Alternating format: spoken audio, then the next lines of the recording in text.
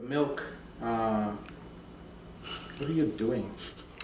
Hello guys, welcome to our channel. Today uh, we want to tell you about what we're doing for food while this coronavirus is uh, sweeping the world. Um, we um, don't have any lockdown or anything here in our um, state, uh, Minnesota, uh, but uh, all the places where you buy food are very, very busy. Um, they're also probably not that safe uh, from a virus standpoint. So we decided to order food delivered to our house for the first time. Um, all the stores are very busy, so there's not a lot of uh, things that are available. A lot of things are stocked out. Um, so we really didn't want to waste the time to uh, take a trip to Costco and find out that all the items that we really want are not there. So we decided to order them and have them delivered here. So let's see what uh, what comes.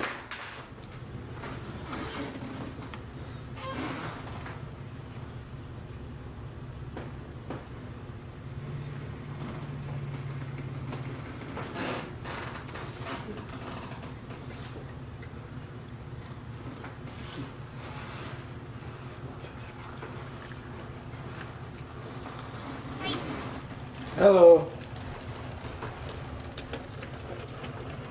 Just sit it there. Yep, I gotta go back and get the milk. Okay, thank you.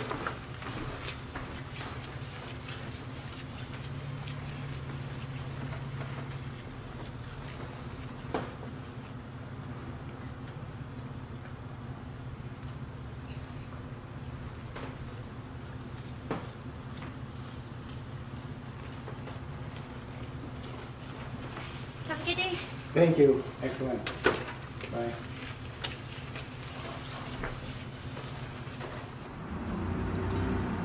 Okay. Let's see what we have here. We have some onions, some yogurt, some milk, some eggs. Uh, this is not the yogurt we ordered, but they substituted this one.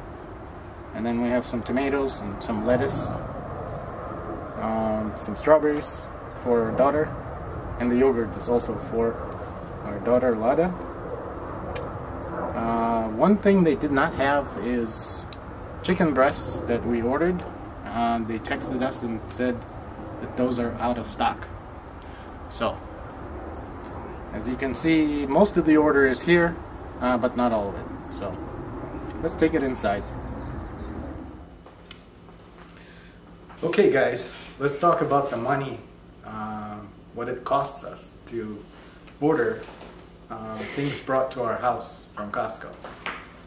So, Costco uses a company called Instacart to uh, process the orders, to shop, and then deliver the orders to the house. Basically, um, the price of delivery is about 20 to 25 percent of the price of the item. So let's say if milk at Costco costs around ten dollars, a little over ten dollars, they charge about thirteen dollars for that milk to be delivered to your house. Overall, the bill for this uh, this particular uh, shopping spree, so to speak, um, was about sixty-five dollars.